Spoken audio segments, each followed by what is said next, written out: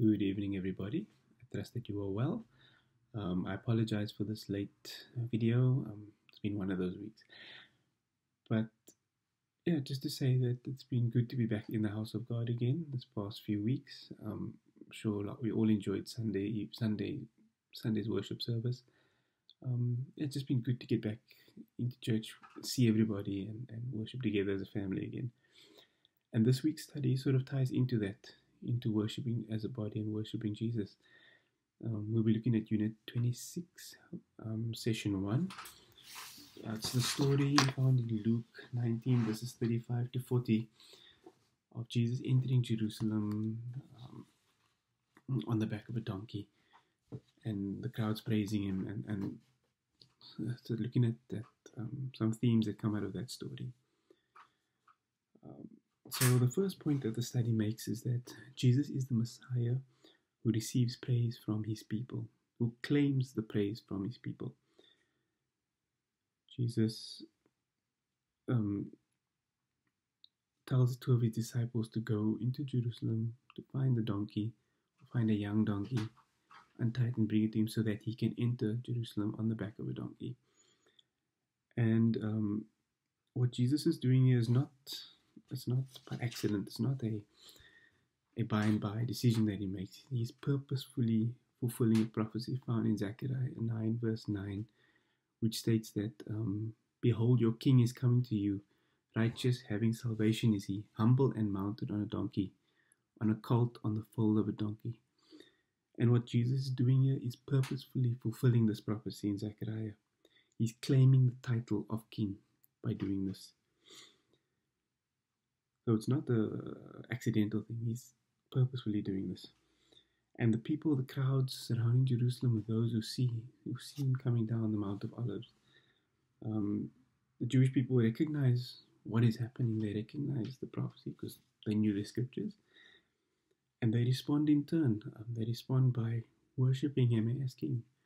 They um, use the words coming out of, of Psalm 8, 118 Blessed is he who comes in the name of the Lord. We bless you from the house of the Lord. The Lord is God. Um, basically, acknowledging that they see what Jesus is doing and they are with him. They, they give him the praise that he's claiming. And likewise, the, the Pharisees also recognize what Jesus is doing. They also see that this is not, they, they can see the prophecy. They know the scriptures. They can see it being fulfilled in front of them. Um, but they choose to deny Jesus' claim. And the point that is made is that as a people, as human beings, we were made to be worshippers. One way or another, we are going to worship something. Uh, if not Jesus, if we don't recognize our true King, we will be worshipping something in His place. And Jesus is claiming to be the one true um, object of that worship the one who truly deserves the worship and adoration that we were made to give.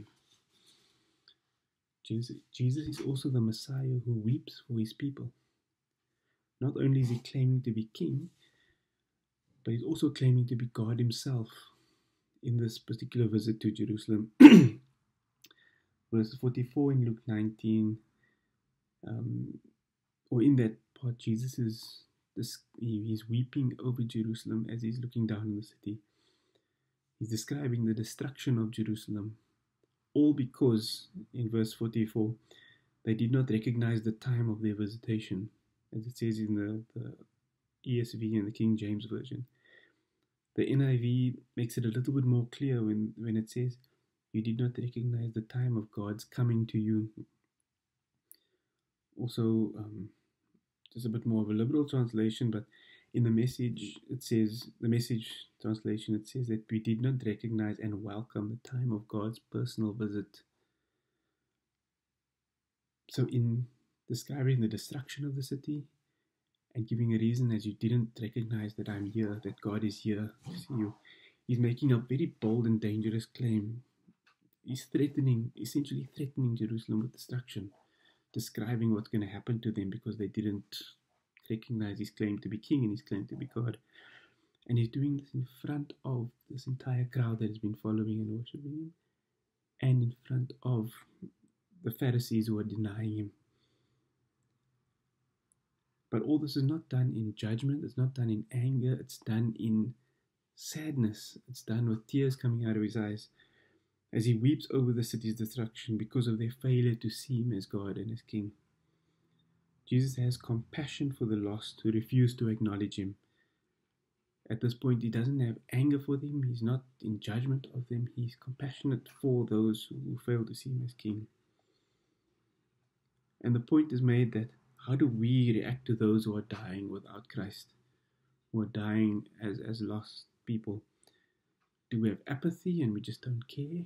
Do we turn to judgment and, and ridicule and, and sort of anger at their actions? Or are we moved to tears and are we moved to compassion? Are we moved to our knees? Are we moved to to want to go out and, and help them and change their or change their mind, so to speak, because of their lost status. Jesus takes the example for us in, in his tears and in his sadness towards these people. And the last point is made is that Jesus is the Messiah who restores true worship through his people. God is not fooled by our hypocrisy. He's not fooled by our attempts to to sorry, he's not fooled by our hypocrisy. Um, the Pharisees at the time and and and certain um, business people we can call within the, the, the Jerusalem society had a very successful money making agenda um, within the, the, temple grounds itself. Um, it was done under the guise of piety, done under the guise of of worship, um, but in the end were exploiting the poor who are coming to worship at the temple, selling them lambs and selling them whatever goods they needed for the sacrifices at that sort of inflated costs and making it very difficult for people to come into the the, the, that particular area of the temple and worship God because of number one, so much happening around them. It's a marketplace. It's not the place of worship. It's very loud and very sort of not and, and, and worshipful environment. And this angered Jesus. Um, this is the same Jesus who who went to eat with tax collectors, who, who amongst his closest followers were very bad sinners, prostitutes, um, murderers. And these people Jesus welcomed. He, he spent time with them, he shared with them, but he fiercely and violently attacked those hypocritical religious elite who put so much obstacles in the way of people coming to want to worship God um, in the temple.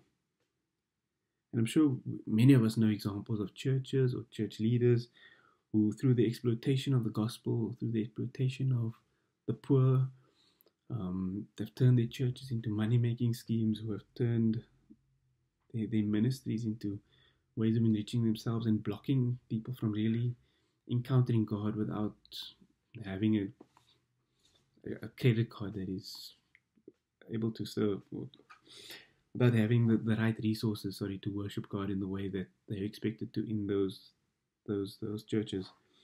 And by doing so they make a mockery of the faith. They are a poor advertisement of who and what the church is supposed to be. And ultimately they prevent many people from encountering God and encountering Jesus um, by these obstacles that they put in their way.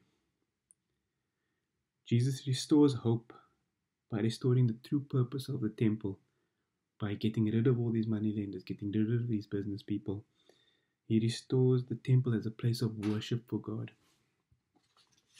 So, the take home points that the study is making for the week is that Christ has purposefully put himself out there and made the claim of being king. Made the claim of being God. And the responsibility on, is on us to acknowledge Him as such, to acknowledge Christ as King, and to acknowledge Christ as God who personally visits with us through the Holy Spirit, and as God who has compassion on our sins, um, but will readily destroy and, and violently attack those things that prevent His people from worshipping Him.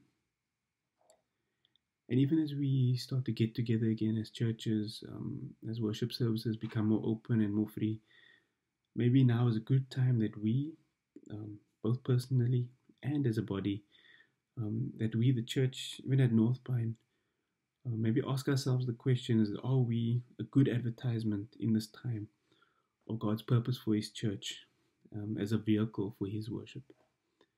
Thank you very much and um, enjoy the study. We'll see you guys on Wednesday night and on Sunday.